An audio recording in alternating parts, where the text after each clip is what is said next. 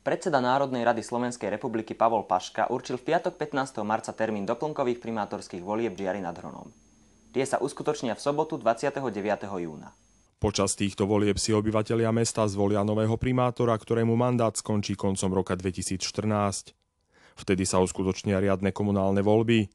Žiar nad Hronom je jediné mesto, kde sa bude voliť nový primátor. V ďalších 13 slovenských obciach sa budú voliť starostovia a poslanci obecných zastupiteľstiev. Podľa zákona môžu potenciálni kandidáti svoju kandidatúru na funkciu primátora mesta zaregistrovať do 5. mája. K téme sa už čoskoro vrátime.